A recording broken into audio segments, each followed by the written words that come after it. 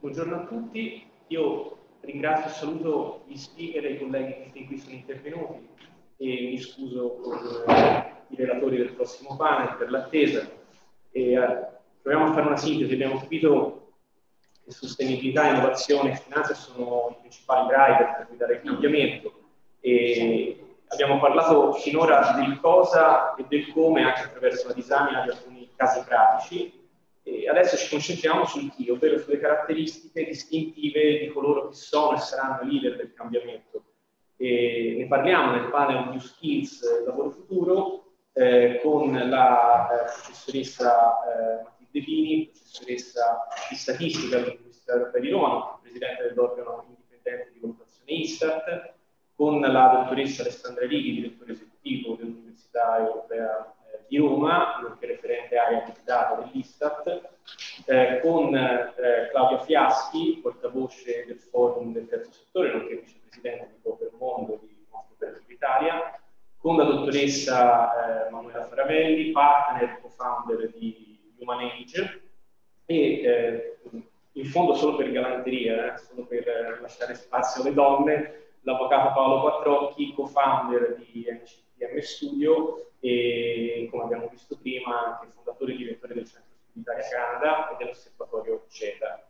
Eh, colgo l'occasione per salutare anche ehm, la dottoressa eh, Floriana Ferrara, eh, stessa leader del Master eh, Inventor di IBM, che purtroppo non ha potuto partecipare. Eh, voglio introdurre i lavori chiedendo alla dottoressa Manuela Faravelli eh, un intervento. Mh, prendo ispirazione da quello che tanto tempo prima eh, disse Seneca. Seneca ha detto che il gladiatore decide da farsi nell'arena. Eh, stando a questo, quali sono le capacità che oggi imprenditori e manager di successo devono avere per gestire e guidare il cambiamento anziché restarne vittime? Buongiorno a tutti, grazie Alessandro intanto per avermi invitato a tutti voi e per questa domanda. Allora, io ho ascoltato con molta attenzione eh, e con molto interesse, devo dire, quello che è stato detto, no? E eh, riassumevi tu stesso che diciamo il leitmotiv è proprio appunto il cambiamento, abbiamo parlato molto di innovazione, abbiamo cam- parlato di un cambiamento di prospettive, no? per far sì che la sostenibilità non sia soltanto un modo per mettere una pezza agli errori, è stato detto, ma sia un nuovo modo di fare impresa in qualche modo, no? in cui appunto gli errori non si commettono e l'impatto invece è parte integrante delle strategie. Allora, tu hai fatto una citazione e eh, piacerebbe iniziare anche a me con una citazione, cito però Tolstoi, che ha detto che tutti pensano di cambiare il mondo, ma nessuno pensa a cambiare se stesso. No? Quindi il tema qua è proprio questo, no? Vivere il cambiamento, cambiare le prospettive anche delle organizzazioni non può non partire dagli individui no? e dai loro comportamenti, perché noi parliamo di trasformazione organizzativa, ma le organizzazioni non sono degli esseri viventi che cambiano da sole, ma sicuramente sono guidate da persone, da uomini, no? i manager e gli imprenditori. Allora eh, la domanda che dobbiamo porci è come devono cambiare queste persone no? e quali sono le competenze da mettere in atto. Io e i miei colleghi recentemente abbiamo davvero dedicato parecchio tempo a questo aspetto perché occupandoci di persone e di sviluppo ci siamo chiesti ma quali sono i modelli di riferimento, no? perché le persone crescono e continuano a svilupparsi in un mondo che cambia e cambia in generale, e poi se parliamo di sostenibilità e di economia circolare, il cambiamento è ancora più evidente. E quindi quali sono un po' i punti di riferimento verso i quali dobbiamo cercare di far crescere le persone. E facendo un po' di analisi, appunto, ci siamo accorti che le tendenze principali rispetto alle competenze vanno in alcune aree molto ben definite. Da un lato c'è, e quella c'è un po' sempre stata, ma ancora più forte, l'attenzione all'area del pensiero, ossia tutte quelle capacità che riguardano il pensiero strategico, il pensiero laterale e l'innovazione. No? Abbiamo sentito parlare molto mh, in tutti gli aspetti che sono stati trattati stamattina di innovazione, quindi la capacità di generare idee e anche di cogliere, no? leggere eh, le idee che ci sono intorno a noi è un elemento fondamentale, ma anche un tema di pensare in un modo diverso e di vedere in modo strategico, quindi eh, quel famoso passaggio no, dal breve termine al lungo termine. La strategia vuol dire capire cosa succederà poi, no? pensare non soltanto a un risultato di breve, ma a un risultato di medio-lungo periodo. Un'altra area importante è un'area di relazioni, però più che parlare di relazioni, che quello ne abbiamo sempre un po' parlato, io credo che oggi dobbiamo parlare di connessioni, cioè la capacità di creare connessioni. Anche questo è un tema no? che è emerso questa mattina, un mondo interconnesso dove la tecnologia sicuramente aiuta no? a creare questi legami. E quindi un manager, un imprenditore deve saper fare sinergie, per esempio, sia all'interno che all'esterno dell'organizzazione, perché le soluzioni appunto nuove, diverse, che cambiano completamente il modo di fare impresa, non possono venire soltanto da un'auto uh, no, celebrazione guardandosi all'interno, ma anche guardando all'esterno, creando alleanze in qualche modo, no? rompendo i silos all'interno delle organizzazioni, perché la soluzione, se ognuno guarda al suo orticello, non arriveremo mai a questa idea di appunto un impatto che non sia solo sui miei risultati, ma sia a 360 gradi su tutti gli stakeholder. C'è poi un tema sicuramente di quindi in questo far crescere no, un po' dal basso anche eh, le nuove competenze, le nuove idee, quindi coltivare in qualche modo i talenti, no? quindi una crescita delle persone. E poi c'è un tema, eh, direi, eh, anche di gestione di sé, no? Quindi eh, di eh, flessibilità, perché è capacità di ascoltare, di adattarsi in qualche modo e di resilienza, perché ovviamente il cambiamento è impegnativo no? e quindi bisogna anche avere il coraggio poi di affrontare delle scelte e di prendersi dei rischi in qualche modo. Eh, allora, tutte queste competenze, che poi sono capacità. Intanto notiamo una cosa, no? sono piuttosto spostate sul anche saper essere piuttosto che sul saper fare, che era quello che fino a un po' di anni fa era proprio un po' eh, la leva no? su cui eh, ci si basava. E possono essere riassunte anche in una parola che oggi va molto di moda, ma non una moda, diciamo, frivola, no? Ma perché molti studi stanno proprio riflettendo su questo termine, che è l'umiltà. Oggi si parla di humble leadership, quindi una leadership umile. E questo non tanto per, eh, nell'accezione che può essere no, uh, un po' più uh, negativa del termine, ma è un'accezione assolutamente positiva, contrapponendola quindi a una leadership che è emergente, che è carismatica. No? Il modello che era in voga fino a un po' di anni fa del leader emergente era il modello della Jack Welch, no? quindi il leader che ha un ruolo eh, preponderante che trascina l'organizzazione. Oggi invece il leader cosiddetto umile è un imprenditore, un manager, eh, un leader appunto che è capace innanzitutto di farsi delle domande no? e di mettersi in discussione. Quindi non si fida solo delle proprie capacità, ma fa leva sulle competenze degli altri. Di qui questa idea di connessione in qualche modo. Quindi sa innovare, ma non solo attraverso le proprie idee, ma attraverso l'osservazione di quello che gli accade intorno. No? E quindi è aperto al feedback, alle nuove idee e soprattutto ha il coraggio di sperimentare, senza il timore che questo metta in discussione in qualche modo la propria credibilità e il proprio carisma. Mm? Quindi l'execution, l'orientamento al risultato non sono passate di moda, no? ma sono un po' più un fattore igienico oggi, cioè che non può realizzarsi, quindi il risultato non, non, ha senso, non è sostenibile se non ci sono un po' tutte queste altre cose, no? la capacità di vedere, di inquadrare i problemi, di risolverli in maniera innovativa, farlo attraverso le persone, attraverso le relazioni e col coraggio anche di mettersi in discussione e non di essere per forza protagonista.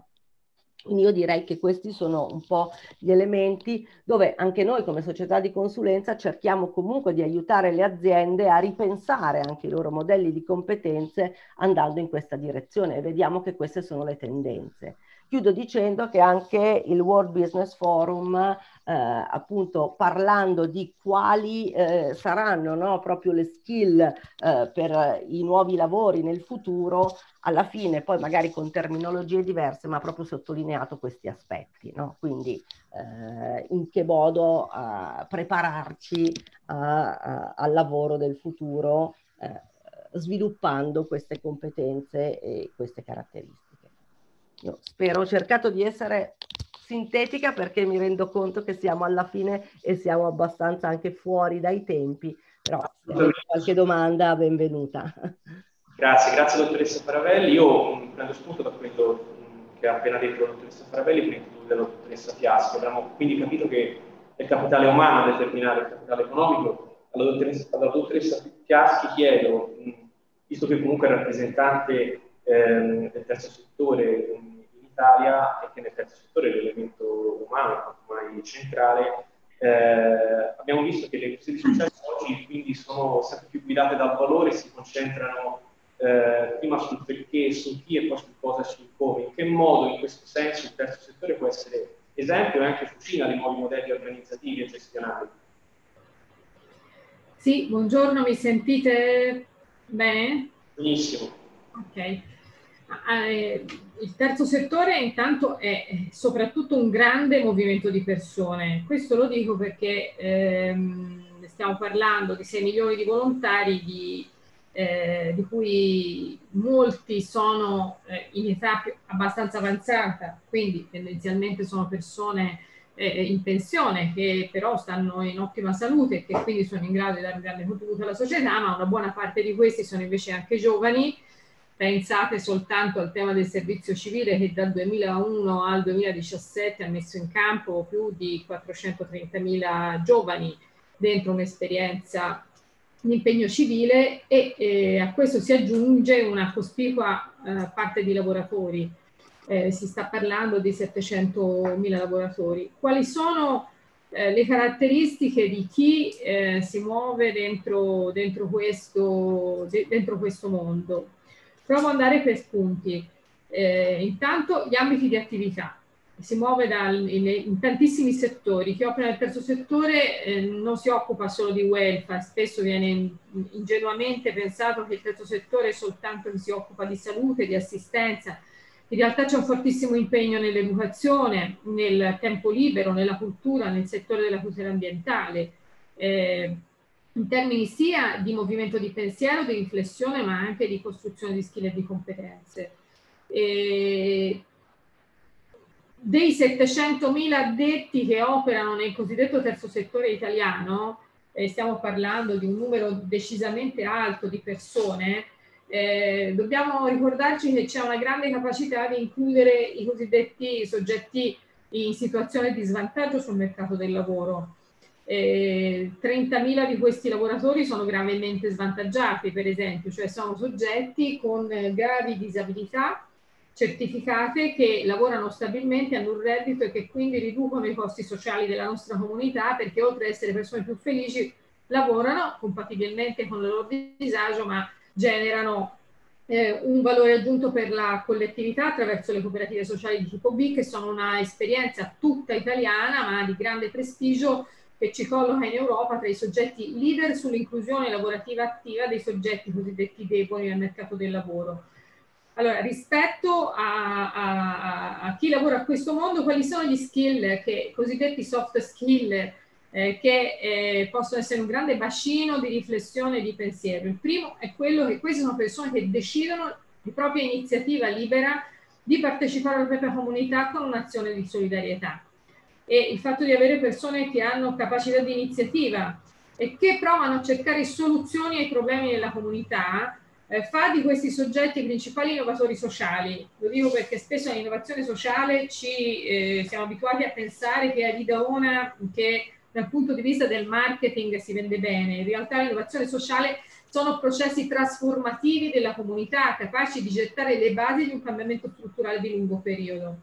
È chiaro che questo richiede problem solving, creatività, pensiero critico, capacità decisionali, che eh, sono tra l'altro tra gli skill fondamentali pensati per, per chi dovrà impegnarsi nel futuro. Il tema della solidarietà e del civismo, intelligenza emotiva, orientamento al servizio rappresentano strutturalmente dimensioni empatiche verso la propria comunità che chi si impegna nel terzo settore non solo ha quando ci accede, ma soprattutto alimenta nel tempo perché, lo ricordo, nel terzo settore si fa tantissima formazione, formazione che abilita eh, le persone, quindi non forma competenze, ma abilita competenze funzionali alla mission degli enti. L'altra questione sono il lavoro di gruppo. Questo incide sia sugli stili di lavoro del management che chi guida le organizzazioni di terzo settore eh, è naturalmente portato a aiutare le persone a riconoscere il valore degli altri e a valorizzare il lavoro degli altri in un lavoro di gruppo dove coordinarsi e coordinare, oltre che motivare le persone rispetto alla propria capacità di investire nella comunità, è fondamentale. E infine la flessibilità. Trasversalmente a tutti questi una cultura eh, SDGs molto diffusa gli obiettivi di sostenibilità dei eh, 17 goal sono nel DNA di tutte le organizzazioni, non solo in termini fattivi di impegno. Tutte le grandi reti di terzo settore hanno un impegno da una ricerca che noi abbiamo sviluppato su almeno 9 dei 17 obiettivi di sostenibilità. Eh, tutte ne hanno più di uno e tutte eh, eh, hanno percorsi di consapevolezza motivazionale all'interno su questo tema, ma eh, soprattutto diciamo il tema che questa è una cultura diffusa a cui si può attingere quando andiamo a selezionare eh, diciamo delle figure. Credo che chi eh, eh ha, viene dal terzo settore abbia un, uno skill in più, diciamo, eh, spesso proprio da questo e non sempre, soprattutto in Italia, si tiene conto di queste diciamo, esperienze nell'accreditamento dei curriculum, nel portafoglio dei curriculum. Eh, sottolineo anche, visto che è stato toccato più volte, che questo è un mondo che ha un suo corpo, Sono, si sta parlando di un mondo da 72 miliardi di, di, di valore economico, quindi un pezzo di PIL significativo, eh, che è in grado anche di aiutare il sistema delle imprese a costruire i TPI eh, legati alla S degli SDGs. Sappiamo tutti come, come classificare i, eh, gli indicatori eh, finanziari di sostenibilità rispetto all'ambiente, sappiamo tutti come declinare gli indicatori finanziari di sostenibilità rispetto alla governance, un po' meno, sia nella nomenclatura europea ma anche nell'esperienza italiana, sappiamo invece declinare in modo cogente la questione degli indicatori sociali, perché sociale non è solo non fare del male all'ambiente, non è solo avere una catena del valore positiva verso l'ambiente o verso i propri lavoratori, ma è anche saper riconoscere il proprio contributo nella catena del valore a impatto sociale dentro la propria comunità. Allora,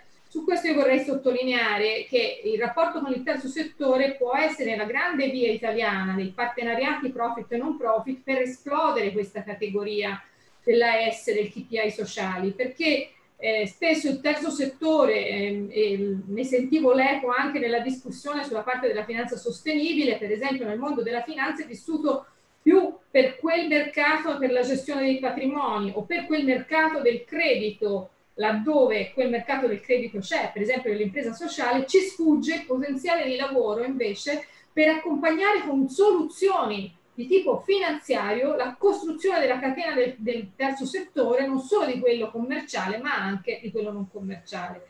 È un'esperienza che noi stiamo facendo con un pool di banche all'interno dei cantieri viceversa, proprio per educare, rieducare il nostro sistema ad un dialogo innovativo, appunto in quella logica di contaminazione che qualcuno prima ha accennato e che credo sia la strada per costruire un vero impatto sociale anche del mondo delle nostre imprese, non solo ovviamente di quelle finanziarie.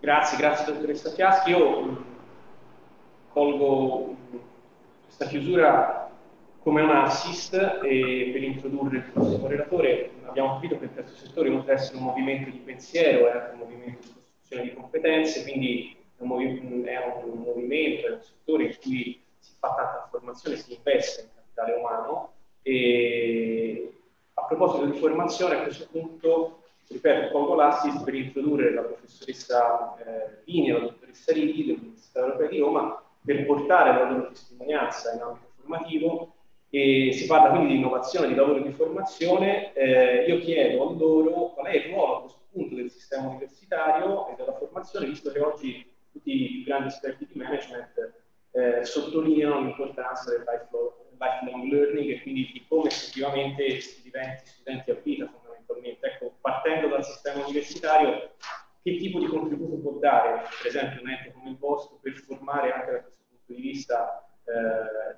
leader del futuro? E prendo io la parola brevemente per fare un ragionamento e poi se Matilde Bini vuole intervenire, naturalmente appena cercherò di essere molto breve. Allora, il mio ragionamento va nella direzione della società dell'apprendimento, cioè la riorganizzazione per la sostenibilità e per l'innovazione responsabile, diciamo, deve svolgersi, deve avvenire all'interno di un, diciamo, un ambiente che è quello di lavoro in cui la capacità di apprendimento deve caratterizzare la trasformazione delle, diciamo, delle, dei concetti in conoscenza. Eh, per questo eh, l'innovazione responsabile occorre, diciamo, richiede che i lavoratori si identifichino il più possibile con, come appartenenti ad una, ad una comunità di conoscenza e riconoscano la conoscenza dell'organizzazione come un patrimonio comune da accrescere e da eh, gestire insieme. In questo modo l'innovazione che ne deriva è un frutto di un patrimonio comune. Ciò permette molti diciamo, benefici, tra cui quelli di ridurre i costi di acquisizione ed utilizzazione delle conoscenze nella creazione delle competenze.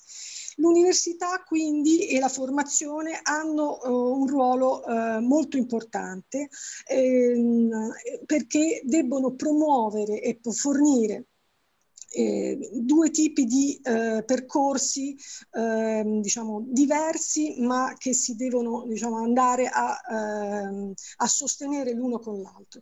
Da un lato l'università deve fornire strumenti per gestire questa transizione al digitale, all'innovazione e eh, formare i giovani che andranno a ricoprire ruoli importanti nostra, nel nostro futuro asset, quali gli innovation manager, gli esperti ICT, di tecnologie per il lavoro lavoro collaborativo da remoto, per esempio, o esperti di tematiche ambientali e finanziarie eh, innovative, oppure diciamo profili manageriali che gestiranno proprio eh, appunto la, la, sostenibilità in senso stretto e eh, anche però anche forme miste come giuristi che eh, studino nuove regole sia per il lavoro che per il business in questa nuova realtà, perché anche questi campi devono essere sviluppati di pari passo insieme al business. L'altro canto, la, la, formazione continua e l'alta formazione di cui per esempio UR Academy, la, la realtà di cui diciamo, noi facciamo parte, ehm, de devono applicare accompagnare il processo di gestione dell'innovazione nelle imprese, ma nelle organizzazioni e anche nelle pubbliche amministrazioni. Da un lato sarà necessario formare i manager, i dirigenti che andranno formati per primi perché da loro che partirà l'impulso per, che permerà con una nuova cultura organizzativa tutta l'impresa o l'ente. Ma a seguire a cascata il processo deve riguardare tutti i livelli, visto che la partecipazione cognitiva dal basso diventa proprio l'elemento che fa la differenza in questo con, con, contesto. E per innescare questo processo è opportuno sviluppare tra i lavoratori come si è detto anche prima negli interventi precedenti, oltre alle competenze, le soft skills necessarie a creare un ambiente coeso e forme di incentivazione, insieme a forme di incentivazione specifiche. E per quanto riguarda noi come Ware Academy, che siamo appunto, ci occupiamo di formazione e alta formazione, abbiamo eh, messo in campo tutta una serie di eh, attività volte ai, da, a partire dai laboratori sulla trasformazione digitale per insegnare all'interno delle imprese ai manager come gestire le nuove tecnologie, come farne proprie e eh, riuscire diciamo, a, a servirsi in modo efficace touch, a corsi sempre diretti al, ai manager eh, come le HSI eh, manager o eh, i corsi di CSR, di ehm, ESG e, e di finanza sostenibile. Quindi diciamo ci stiamo muovendo in questi settori già da qualche tempo, una nuova, la nostra è una nuova realtà, eh, ma soprattutto puntiamo nel futuro ad intensificare questo tipo di offerta anche con, insieme proprio a Fair Italy con una partecipazione alla eh, costruzione, la creazione di eh, corsi eh, su, de, per l'economia, per lo sviluppo in, in, settori diversi anche dell'economia, delle, dell'economia circolare. E in ultimo ricordo appunto anche che eh, proprio per sviluppare questa situazione diciamo di miglior coesione che è stata chiamata diciamo di nuova gestione umile dei, dei manager poco fa, eh, abbiamo eh, in cantiere di offrire dei servizi al business, nuovi servizi di coaching proprio per gestire eh, la transizione sia al digitale, diciamo alle nuove eh, forme di rapporto all'interno delle aziende che avvengono per, in maniera digitale, ma anche proprio per sviluppare eh, proprio le soft skill necessarie a creare questa situazione di nuova eh, partecipazione cognitiva dal basso. Grazie. Grazie dottoressa Righi. Io chiedo alla sua collega eh, Matilde Pini se ha piacere di fare un breve intervento e portare anche la sua testimonianza. Ora, eh, buongiorno. Buongiorno. Sì, buongiorno a tutti, non so se mi, se mi vedete. Sì, allora, eh, no, intanto grazie per, per l'invito e per, ehm, per, ehm, gli interessanti temi che sono stati affrontati, ci sono tantissimi punti di riflessione eh, che insomma spero che poi ci sarà un seguito diciamo su questa, questo, a questo evento. Io aggiungo poco perché Alessandra, la dottoressa Righi, che collabora con me questo centro universitario che si occupa di formazione e alta formazione, noi eh, già in, anche in altri contesti e cogliamo anche l'occasione di questo per eh, insomma mh, sensibilizzare la, mh, il pubblico, le, le persone nel mondo del lavoro nel, sul, tema, sul, tema, della formazione, sul tema della, dello sviluppo delle competenze che eh, purtroppo per vari motivi ha avuto anche un freno che non è dipeso diciamo, da chi offre queste offerte formative, ma è dipeso da un contesto economico che insomma conosciamo e che comunque poi è stato anche aggravato dalla situazione pandemica. E rispetto a quanto ha detto Alessandra non aggiungo altro, altro tranne che comunque il sistema, cioè la formazione è sicuramente un elemento che entra dentro a, questi, a queste tematiche che avete trattato oggi, lo, lo trovo assolutamente eh, incardinato in questo, in questa, insomma, nel, nel, nel, tema centrale del, dell'evento. E non, siccome è tardi non voglio portare via altro tempo e eh, ringrazio tutti, eh, ringrazio gli organizzatori, ringrazio il dottor Tortora, ringrazio Fer per, per, avere, per averci invitato e per, aver, insomma, per averci dato l'opportunità di essere anche parte attiva. Grazie. Grazie a voi, grazie per l'intervento e per la testimonianza. Abbiamo capito quindi che tutti coloro che hanno diciamo, eh, l'onere e l'onore di condurre verso il futuro le proprie aziende devono essere anzitutto gestori di persone, di idee, di talenti. Io prendo spunto da tutte le persone che sono, da gli speaker che hanno intervenuto, eh, che, che, sono, che, sono, intervenuti, scusate, ehm, finora, per chiedere all'avvocato Patrocchi eh, quali sono a questo punto le caratteristiche che devono possedere le imprese eh, per essere attraenti e aumentare la propria eh, retention, ovvero per attrarre e trattenere persone di valore. Eh, perfetto, si sente, sì. Sì, benissimo. benissimo. Allora, eh, partiamo un po' da quello che è il settore di mia competenza, che è un settore, eh, diciamo, definibile aziendale, ma in modo anomalo. Mm, io sono un avvocato e quindi rappresento in questo momento, in, questa, in questo panel, il, mio studio legale che si chiama appunto NCTM Studio Legale. eh, è una struttura grande e quindi in questo senso abbiamo sviluppato da quando siamo nati, quindi poco più di 20 anni fa ad oggi, una struttura organizzativa che posso definire di natura aziendale.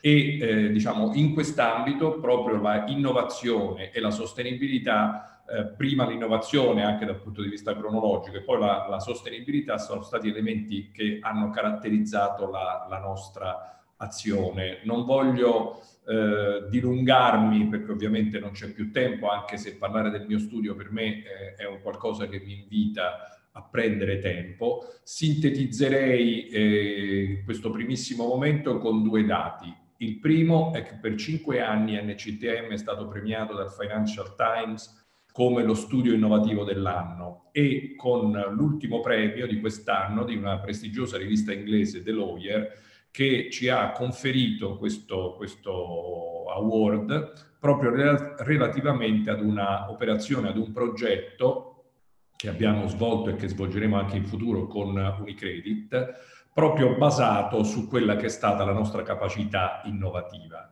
Ecco, da questo nasce che eh, le persone che ci sono dietro, che correttamente eh, sono stati ritenuti eh, i, i, motori reali dell'innovazione e della sostenibilità, le persone che sono dietro eh, questa struttura organizzata che è questo studio legale sono persone che hanno avuto evidentemente dentro di sé il senso dell'innovazione sin dall'inizio e lo hanno mantenuto nel tempo anche rappresentando all'interno della nostra struttura un modello organizzativo che noi riteniamo e che verrà a breve eh, diciamo approvato e che riteniamo che possa portare tranquillamente la struttura a vivere ben oltre i propri fondatori con un modello che tende a valorizzare proprio le giovani leve. Ora, la, la, la, retention è un qualcosa che noi viviamo costantemente perché noi viviamo di fattore umano, viviamo di fattore umano dal punto di vista della produzione, e vale a dire gli avvocati, quindi i giovani avvocati, viviamo anche una retention per quello sempre fattore umano, che sono eh, quelle che un tempo erano considerate segretarie, ma che oggi sono più che altro delle assistenti in senso tecnico e che sono, eh, diciamo, un, eh, necessitano di una specializzazione, di un ammodernamento costante e continuo. Io faccio un esempio anche nell'ambito di quella che è l'organizzazione del lavoro. Quando siamo nati avevamo tendenzialmente una segretaria per, per socio, Oggi abbiamo un assistente che gestisce almeno 3-4 soci più altri 2-3 avvocati, quindi diciamo il, il, il, il, fattore umano è preponderante e la necessità della innovazione la viviamo e l'abbiamo vissuta dall'inizio sia attraverso una, una diciamo, creazione di un sistema che noi abbiamo definito di knowledge management eh, che adesso è troppo, sarebbe troppo lungo descrivere, ma che è un qualcosa che abbiamo, siamo andati a sviluppare nel tempo e che ci ha portati poi nel 2013 a varare un sistema di gestione dello studio basato anche eh, sul knowledge management e oggi ci ha portato a questa iniziativa che abbiamo chiuso con Unicredit e che ci consente diciamo, di, aver, eh, di essere stati considerati in modo assolutamente positivo da questa rivista specializzata. Quindi la, la, la necessità eh, e, e, questa capacità di innovare e la capacità anche quindi di essere sostenibili, non mi dilungo su tutte le misure che noi abbiamo adottato negli ultimi anni e che magari sono sicuramente ancora insufficienti, ma che danno conto della sensibilità che, stante l'innovatività, avvertiamo anche sul, sul profilo della sostenibilità, è sicuramente un elemento immateriale sotto certi aspetti che noi mettiamo in parallelo rispetto ad altri elementi di carattere materiale ma che non fanno parte di questa, di questa occasione di incontro per far sì che il, il giovane, che è poi ovviamente la leva di quello che verrà fatto dopo di noi, eh, avverte come attraente e che lo induce anche a orientarsi verso il nostro studio proprio perché è uno studio che offre al giovane quei tools immateriali che però fanno della struttura e della maglia che tende ad indossare un elemento di vanto. Questo in estrema sintesi quello che posso dire su, sul, sulla domanda che mi hai fatto. Grazie, ringrazio la vostra quattro occhi, ringrazio nuovamente tutti coloro che sono intervenuti fin qui. Lascio la parola a Marco Duttra per le conclusioni.